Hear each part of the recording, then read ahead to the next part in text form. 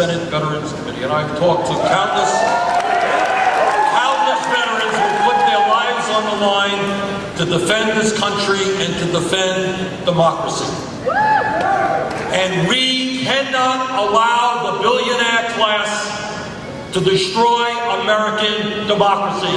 We've got to stand up and make it crystal clear that not only will we overturn Citizens United, we're going to move toward public funding of elections.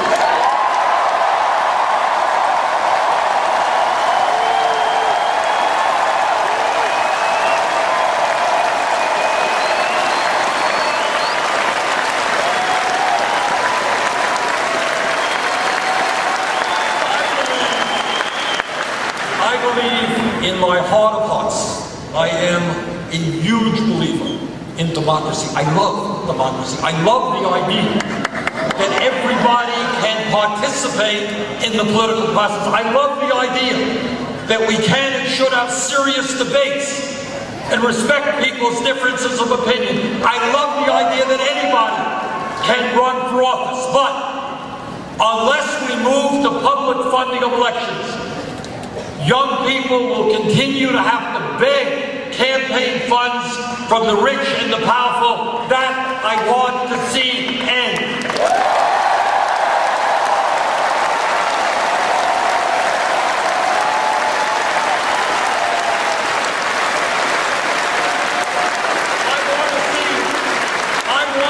People here tonight and others, regardless of their political views, conservatives, moderates, progressives. I want to see people say, you know what? I have a set of ideas. This is what I believe for my state, for my country. I'm going to run for office based on my ideas, not based on the amount of money I collect from billionaires.